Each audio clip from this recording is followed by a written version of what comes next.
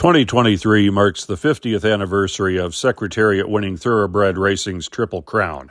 I'm Michael D. Lee, host of the Saturday Sportsline Memories channel on YouTube. Just a few days ahead of this year's Preakness, I interviewed John Tweedy, an attorney and filmmaker whose mother, Penny Chenery, was the subject of his documentary Penny and Red The Life of Secretariat's Owner.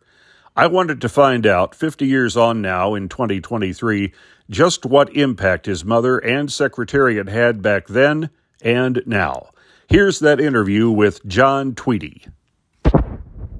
Okay, very good.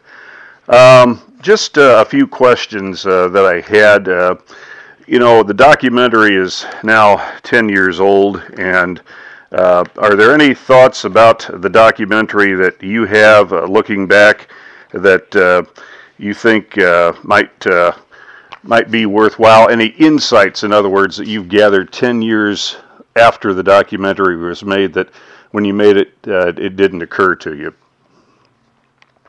Well, the documentary Penny and Red, uh, really an effort by myself and my mother to deepen the uh, the conversation about who she is as a person. The uh, the documentary was made shortly after the Disney movie Secretariat came out, and uh, and the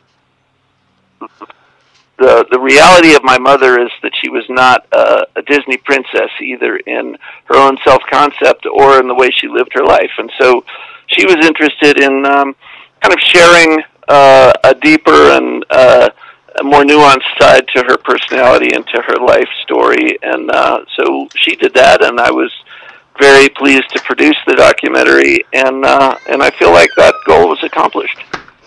Uh, going back to 1973, John, um, did uh, your mother have any concerns about Secretariat going into the Preakness?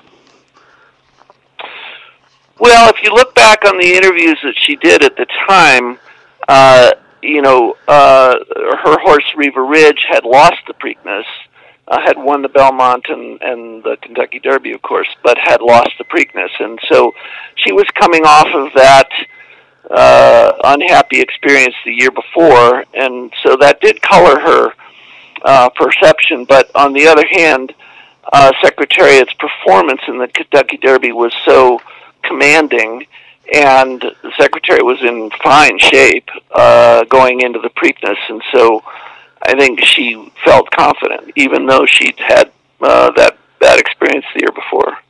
And after Secretariat won the Preakness, beating Sham once again as he had in the Derby, did your mom believe at that point after the Preakness, John, that victory in the Belmont for Secretariat was a foregone conclusion? No, not a foregone conclusion because she'd been in the, the game both on her own behalf and uh, with watching her father you know since the 1950s, and there there aren't foregone conclusions in most area of life, but there certainly are not in horse racing. And uh, so she didn't consider it a foregone conclusion, but you know, Secretariat's move on the um, on the far turn in uh, uh, in the Preakness was just astonishing. Uh, the way that he went around horses and uh, went to the front and then uh, and then finished off Sham uh, was really, really uh, a uh, an astonishing um, performance. And so, I think everyone after that and after the Derby felt very positive about his chances. And of course, as we all know, Secretariat won the Belmont and thus the Triple Crown. What did Secretariat, uh, looking back now 50 years, John, what do you think that horse meant to your mother's legacy? Well, Secretariat was truly uh, a force of nature, both in terms of his physical prowess, but also the impact that he had on the culture uh, in 1973. It was a time when America was deeply divided. Uh, there was uh, the Vietnam War was still going on. The Watergate hearings were still going on, and uh, and you know the country was looking for a hero, and uh, and Secretariat and my mother uh, stepped up to that plate and presented uh, an image and a story and a, uh, a, a, phenomenon that people of all persuasions were able to stop what they were doing, look up, and focus on this common uh, narrative of this horse. Uh, and and that was certainly my mother's legacy, uh, both from the standpoint of those events themselves, but then from the standpoint of who she had become as a celebrity. She really was a celebrity to the end of her life, and and she was able to manifest that inclusive, broad-based uh, uh, connection with fans of all walks of life, you know, until she died. Uh, and and uh, she, for the reasons I went into in the documentary, she had had life experiences that really enabled her to connect with all kinds of people, and she prided herself on that. And uh, it, and so, and she continued to do that for the rest of her life. You know, so the thoroughbred owners before that, and to some extent since, are a kind of a snobby club, uh, and they don't necessarily have a have the skills or even the desire to reach out to the broader public. Whereas my mother did, and she knew how to do it, and she wanted to do it, and Secretariat exuded the star power, and so that's what she did, and that's what she's always done until she died in you know uh, 1917. I mean uh, 2017 rather. Yeah, it, it seems uh, your mother was very well educated. She was very familiar with horses. Of course, the experience of Riva Ridge, so she wasn't a rookie coming in, certainly to the Kentucky Derby in 73. It seemed to me, John, that uh, based on everything I've I've read, I saw the movie, I, I want to watch the documentary at some point, but I've seen some roundtable discussions with you and Bill Nack and uh, some others about the documentary.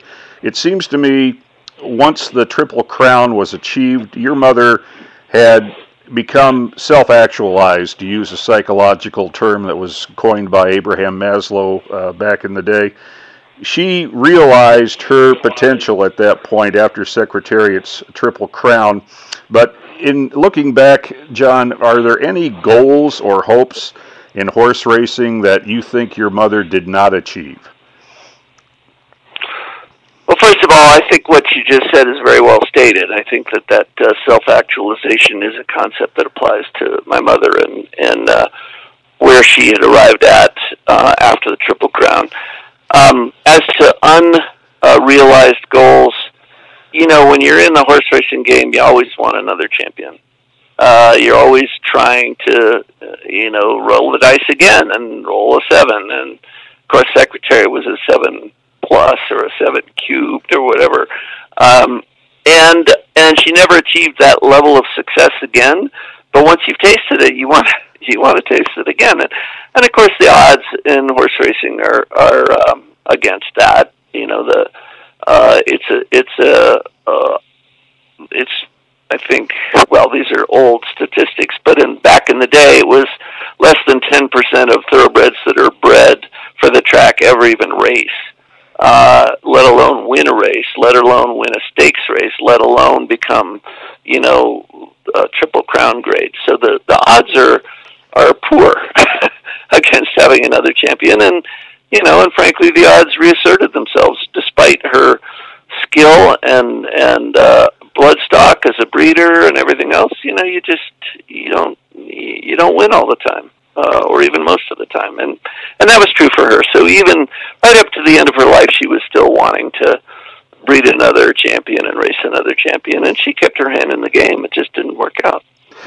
John, I've admired your mother, Penny, for being uh, strong willed, independent, very intelligent, and having a sense of direction, knowing uh, where she wanted to take her life.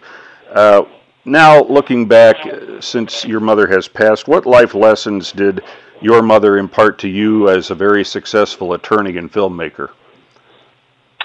Oh, I think my mother taught me a lot in various ways. I think she was uh, uh, very focused on her goals. She was also extremely um, able to to connect with all kinds of people, and uh, you know, I've tried to live that way as well. I think. Um, again, you uh, you miss out on a lot if you believe that certain people are somehow beneath notice or that you can only or only want to associate with certain kinds of people, people who agree with you, or people who are from where you're from, or people who are the same color or creed, or whatever it is.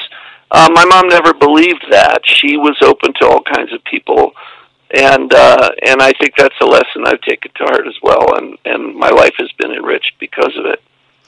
John, I'd like to thank you very much for your time. All the best to you. Penny Chenery received many awards and accolades in the years following Secretariat's Triple Crown win. She also helped found the Thoroughbred Retirement Foundation, dedicated to the humane treatment of retired racehorses, and she was posthumously named a Pillar of the Turf, the highest honor bestowed by the National Museum of Racing and Hall of Fame. Thanks for listening. I'm Michael D. Lee.